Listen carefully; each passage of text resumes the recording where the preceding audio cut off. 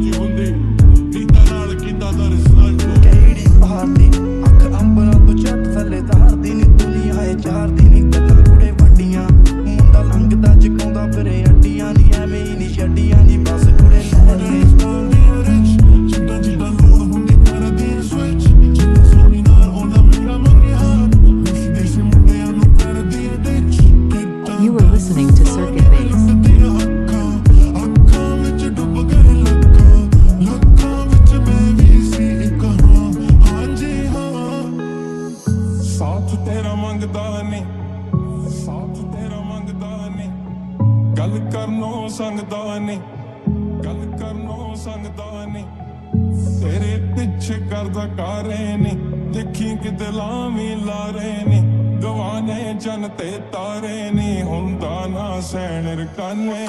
ਜੀ ਲਾਲਾ ਬਿੱਲੋ, ਜੱਟ ਦੇ ਨਾਲ ਨਹੀਂ ਚੱਕਾਂ ਕਰੰਟ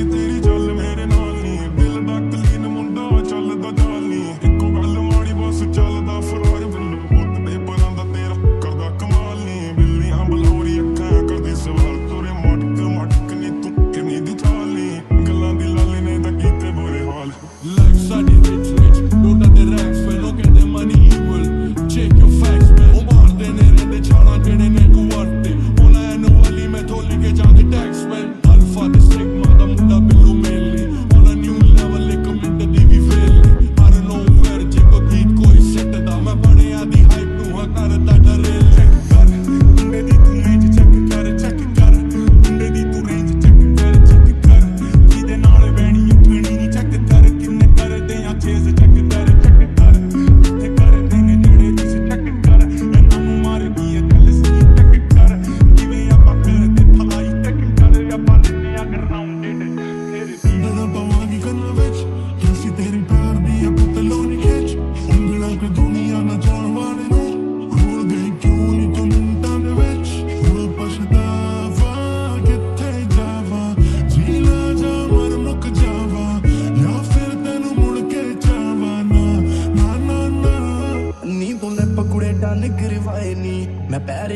ਜਵਾਨੀ ਵਿੱਚ ਪਾਏ ਨੀ। ਸਾਡੇ ਚੱਲਦੇ ਸਟਾਕ ਤੋੜੇ ਹਾਏ ਨੀ। ਜੰਮੇ ਬੇਗੜੇ ਤੇ ਕੌਣ ਸਮਝਾਏ ਨੀ। ਅੱਖੀਆਂ ਨਾਲ ਕਹਿ ਗਈ ਐ ਰੂਹ ਕੱਟ ਕੇ ਲੈ ਗਈ ਐ ਤੂੰ ਜ਼ਹਿਨ ਚ ਵਹਿ ਗਈ ਐ ਉਹ ਆਫਤ ਵਹਿ ਗਈ ਐ ਬਿੱਲੋ। ਸ਼ਰੀਆਂ ਤੋਂ ਦੱਸ ਹੁਣ ਕਿੱਥੇ ਘਟ ਨੀ ਮਨ ਟਾਈਨਾ ਦੇ ਖਰੀਦੀ ਬੈਠੇ ਰਹਿਣ ਚ ਜੱਟ ਨੀ।